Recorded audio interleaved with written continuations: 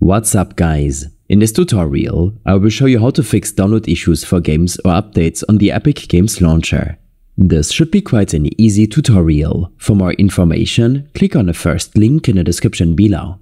Experiencing download issues on platforms like Epic Games can be incredibly frustrating, especially when you're excited about jumping into new games. First, make sure that network-intensive processes, such as active downloads or Netflix Stream are not running while trying to download games or updates on Epic Games. Next, let's clear the Epic Games cache data. Type percentage local app data percentage in your start menu and press enter. In the File Explorer window, locate and open the Epic Games Launcher folder. Here, you'll find the cached files. Go ahead and delete this folder. Don't worry, these are just temporary files and deleting them won't harm your games or the launcher itself. Sometimes these files can get corrupted and cause issues like download problems. If the problem persists, it may be due to other corrupted Epic Games files. Before uninstalling, ensure you backup your games to avoid losing them. Locate the folder where your Epic games are stored and simply rename it. This prevents the games from being deleted when you uninstall the launcher. Next, open Control Panel. Go to Uninstall a program and uninstall Epic Games.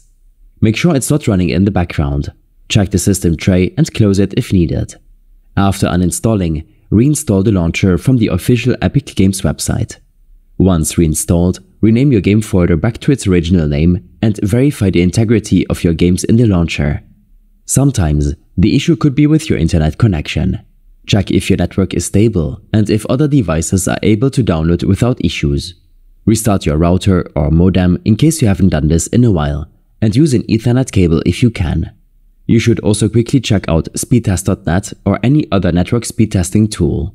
This will give you an estimate on your average download speed. Outdated network drivers can also lead to download problems. Open up your device manager by searching for it in your Start menu search.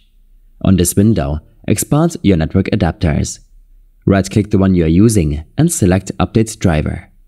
Next, search automatically for updated driver software and wait a moment to make sure the latest network adapter driver is installed. Lastly, you can try to make use of a VPN such as Privado VPN. Test it for free to see if it helps in increasing download speeds. A link is in the video description. This VPN enables fast connections in any region and can help connect to a different Epic Games download server. These steps and more information will be available in my extensive guide linked in the description below. I hope this helped you out. Leave a comment if you have any questions and see you in the next one.